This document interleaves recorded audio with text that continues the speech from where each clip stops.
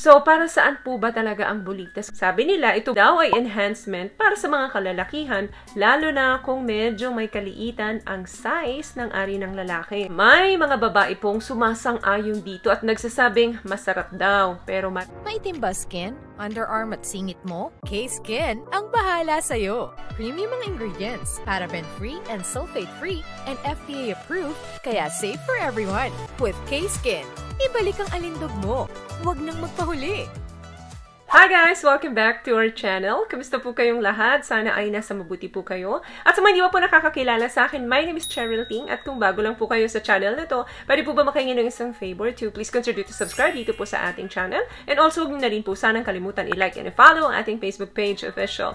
Maraming salamat po. And for today's video is another concerned video po. Ang sabi niya is, Miss Che, please, video ka naman about bulitas topic. Kasi I'm planning to have po soon. Ayos daw po kasi sabi ng mga tropa. Thanks in advance. Alam mo, unang advice ko sa'yo, kapag magpapalagay ka nito, make sure na hindi dahil sa sulsol or sa influence ng barkada, kundi dahil according to your research, dahil sa tingin mong magugustuhan mo ito at possible na magustuhan ito ng partner mo. So, dapat 100% gusto mo talaga ito once na pinalagay mo. Okay, ano nga ba ang bolitas? From the word itself, bolitas. Meaning, sa Spanish po, bolitas is parang maliit na bola. So, ano po ba yung mga different types of bolitas? Merong gawa po sa plastic, beads, uh, fiberglass, ivory, and even jade. Iba nga, gamit is yung dulo lang daw ng toothbrush. So, hinuhulma ito ng pabilog yung plastic na yon hanggang once na nabuo mo doon, pwede rin small, medium ang mga size nito or extra small. So, depende kung ano yung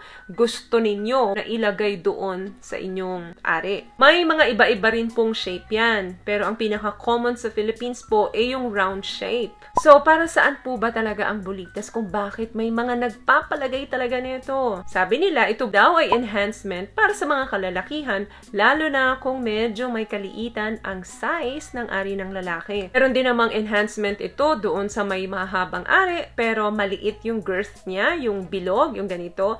So, yun yung way nila para mas magmukhang mataba. May mga babae pong sumasang-ayon dito at nagsasabing masarap daw. Pero marami rin pong babae, especially mga asawa, no, na hindi nila alam na nagpalagay yung mga mister nila nito, eh nasasaktan daw at hindi talaga nag enjoy doon sa kanilang pagtatalik. Anyway, it's just an enhancement sa mga kalalakihan dahil dagdag daw sensation sa aming mga kababaihan. But, para sa akin, hindi po. Hindi naman po kasi lahat ng babae ay nagmamatter sa kanila ang shape or size nung dinadala ng lalaki. Marami pong babae na mas na-appreciate ang performance kesa doon sa size nung kanilang ari. So, siguraduhin lamang po na kung magpapalagay kayo nito ay eksperto. Ang gagawa nito at hindi yung mga kapitbahay nyo lang or yung kumpare nyo lang, yung tropa nyo lang kasi baka magkaroon ng infection. Dahil ito po ay bubuksan na balat para maipasok yung ball na yon doon sa skin ng ari ninyo. So, once na sinugat po yan, possible talaga na maging prone kayo sa infection. Kaya pag-isipang mabuti bago kayo magpalagay nito. Sino po ba yung madalas nakakaisip nito na magpalagay? Karamihan dyan yung mga seaman. Magugulat na lang pag uwi doon sa mga misis nila, eh may bulitas nang nakalagay. Ano pa po yung mga galing sa prison? Paglabas sa kulungan ng mga mister, magugulat na lang si misis. Meron ng bulitas, may mga accessories na, may mga enhancement ng ginawa doon sa kanilang ari. And of course, yung merong maliit na ari. Iniisip kasi nila na pwedeng ma-enhance or lumaki yung size sa pamamagitan ng paglalagay ng bulitas. Kaya very important po na dapat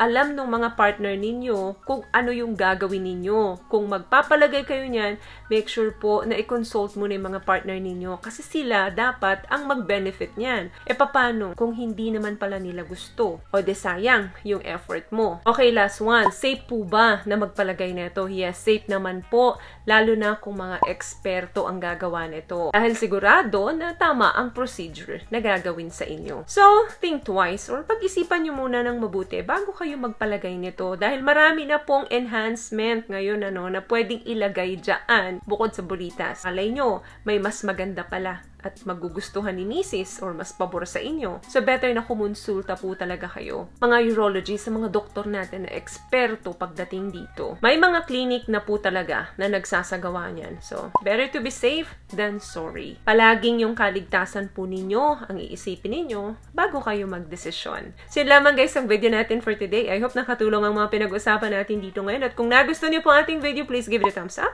Comment down below and also share this video na rin po sa mga kaibigan na sa tingin nyo matutulungan ng video natin.